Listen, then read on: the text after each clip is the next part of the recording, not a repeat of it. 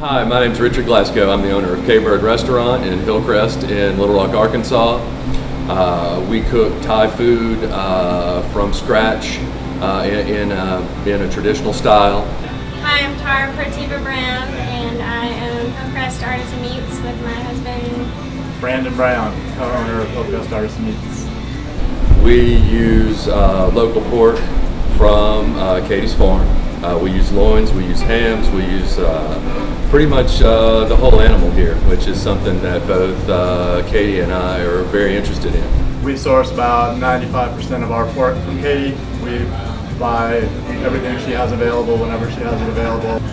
We've watched Katie uh, go from a smaller, great farm to a larger, really amazing farm.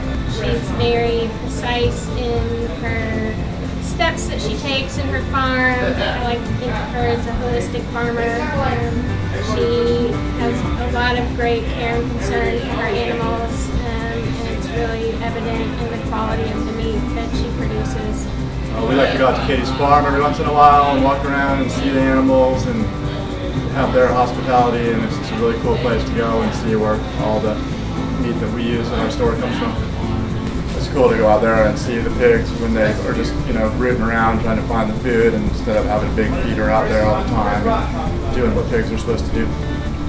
In my opinion, um, animals, pigs that are finished on uh, nuts and kind of forage finished uh, have a very different flavor uh, in the meat uh, and more specifically in the fat in the meat.